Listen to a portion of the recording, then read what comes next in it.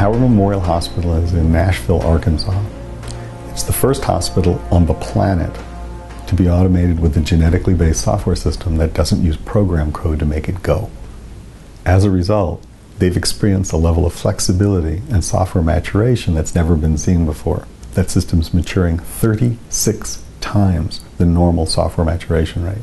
It's growing from department to department virtually unimpeded. It wasn't originally intended to be in their emergency room or surgery or a variety of other locations because emergency room is radically different than normal admissions and normal patient care or what we consider on the floor. Yet it took us under two days to teach the system what it needed to know to be fully compliant and operational in the emergency room environment. That's in a world where systems that are designed to operate outside the emergency room can't be pressed inside the emergency room. They just won't work.